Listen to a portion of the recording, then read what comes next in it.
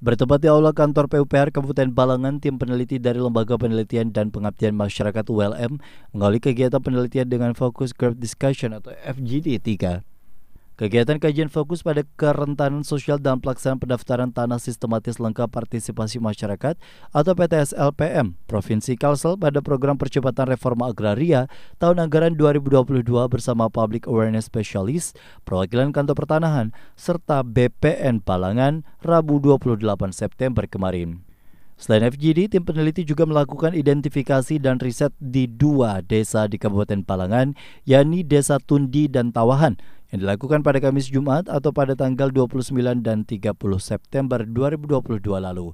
Kita akan melakukan kegiatan terkait dengan kerentanan sosial e, berkaitan dengan kegiatan PTSL yang akan dilakukan. Jadi di sini kita akan e, mengidentifikasi terkait dengan strategi mitigasi dari masing-masing kabupaten apa yang akan dilakukan dari setiap kabupaten sehingga memperoleh capaian yang optimal dibandingkan dengan kabupaten-kabupaten yang lain.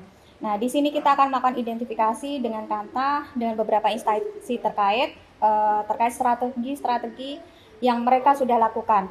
Karena untuk Kabupaten Balangan ini termasuk uh, memperoleh capaian PTSL yang lumayan lebih tinggi dibanding uh, kabupaten yang lain.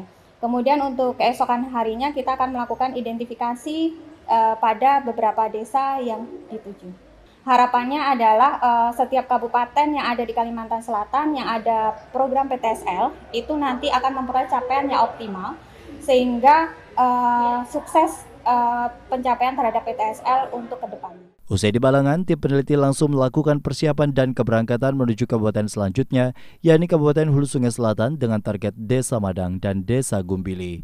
Tim Liputan Duta TV Banjarmasin.